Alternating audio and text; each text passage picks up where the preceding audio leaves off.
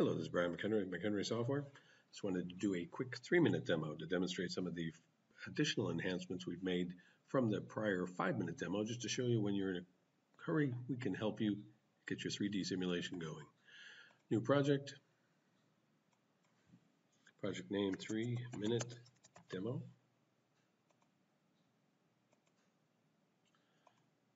Lumina for our first vehicle.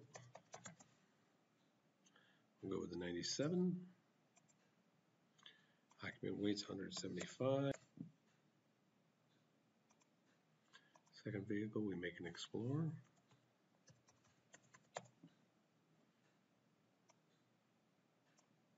Ninety-nine, four door. And then the 200 occupant and weight. Set it to SUV down here in vehicle type. Vehicle 1 model, I'm going to set to Lumina. Vehicle 2 model, Explorer. And we're going to get that ground image we used in the 5 minute demo, just to show you how much quicker things are. Came up with a couple ideas we think will be good.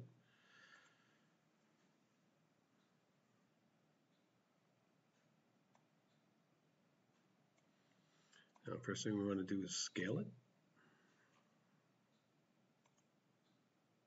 At 20 feet.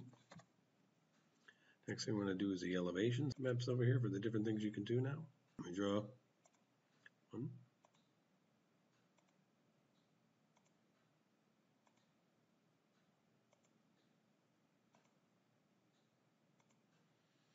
And we edit the point.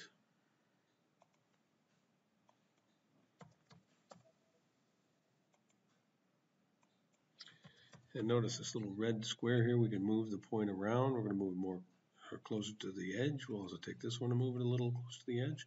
Now here's where we added a huge enhancement. Make triangles. You notice now they come up in blue. Once you click, that makes a triangle. This is also the same technique that we're going to have for the DXF files when you bring those in. We apply, we save the grid. Now let's go ahead and move our position, initial positions.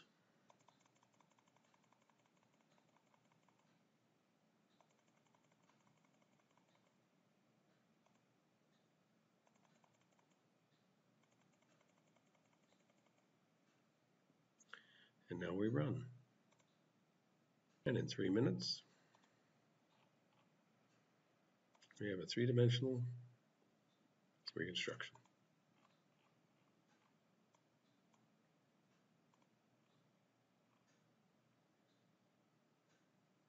Thank you for watching.